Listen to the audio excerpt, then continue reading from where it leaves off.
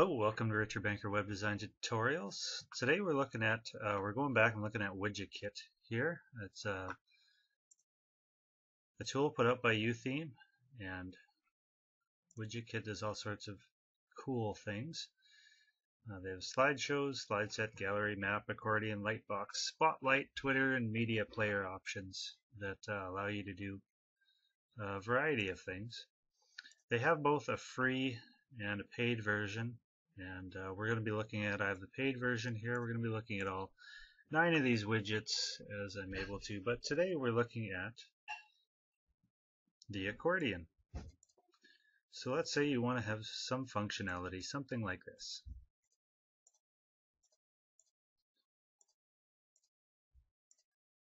Looks pretty simple, pretty standard, pretty easy to do. And uh, this is more of a Swiss Army knife type idea of there's a whole bunch of things in here, but let's look at if you've purchased Widget Kit and you're looking at how to do all these things, uh, we're going to go through that right now. So starting in the control panel, after we're installed, Widget Kit is at the bottom of the components.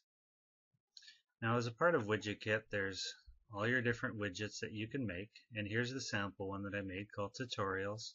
And when we go to welcome here, we can see web design, print design, videography. When I click on them, it opens up and shows the text below. So to create a new uh, option here, we just say add new. Or we also have the option of using Joomla. For this tutorial, we're just going to look at add new. Enter the name. I'll just call it sample.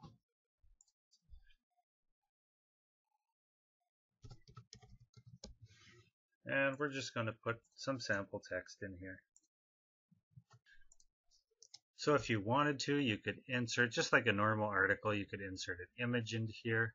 You can insert, you know, links, all your normal standard text. Then you can go to the bottom and click Add New, and you can add as many of these as you want. I don't know why I'm choosing grocery items, but that's what we're doing. And we'll just do three just so you get the idea.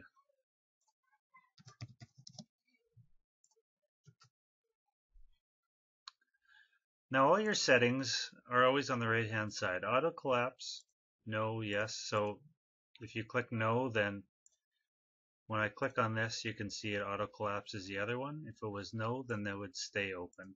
So then it would just go down and then all three of them would be open and you actually have to click on it to, to close it.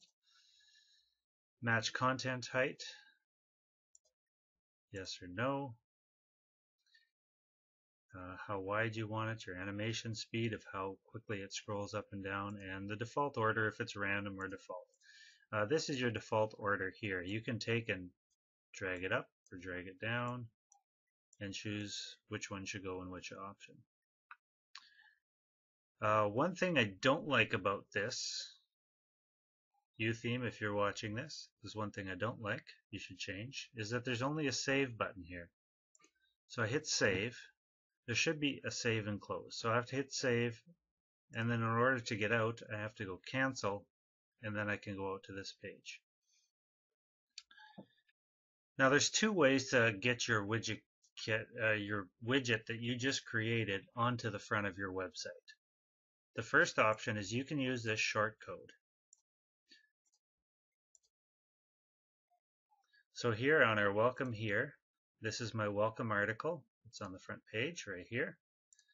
You can see I've got welcome and then I've dropped in this widget kit. So if I change this to 2, because that's the one we just created, and go save. So our sample is called widget kit ID equals 2. That is what we put here. So now when I refresh this, Can see we have fruit, eggs, and milk. And here you can see that this is set not to auto collapse. So when I click on them, it opens it up and it remains open. So that could be useful if you had some sort of questions that people needed both of them open or you know you could use this for frequently asked questions or things like that.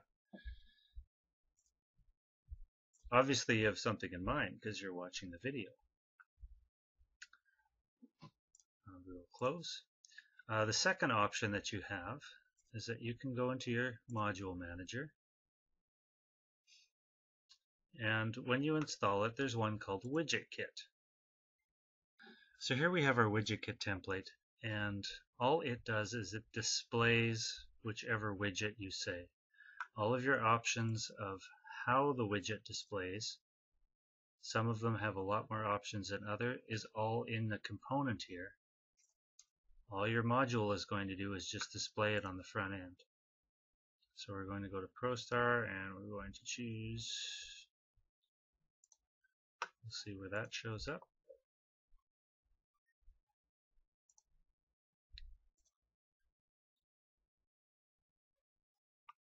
So top center is what we selected. So here you can see